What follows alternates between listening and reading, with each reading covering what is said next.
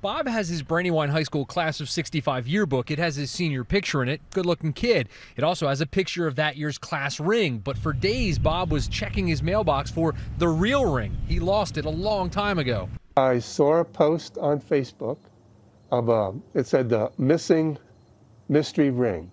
Bob lost his ring in the Cocoa Beach, Florida sand when he was stationed there in the Air Force in 1970 and 71. But I put it in a, a wooden box and uh, in an old dresser. Well, this lady Kathy found a ring on the beach sometime in the late 80s and pre Google didn't know how to find out where Brandywine High School is. Last week, she rediscovered the ring in a dresser and her husband TJ got on the case. I said, you know what? I'm going to take a shot at seeing if I can find this high school.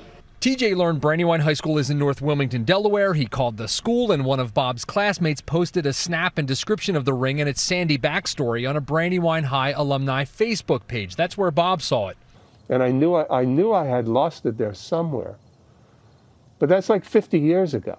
The story was an outlandish long shot, but the pieces added up until the ring arrived. So I, I, knew right away it wasn't a boy's ring. It's clearly too small to be a boy's ring, and the couple in Florida didn't notice the KCF initials engraved on it. I'm really disappointed that it's not mine, but I certainly want to get this to the rightful owner. Bob thinks he knows a female classmate with the KCF initials and is now working with friends to see if they know if she's still around and how to reach her. Bob thought the mystery would end with him.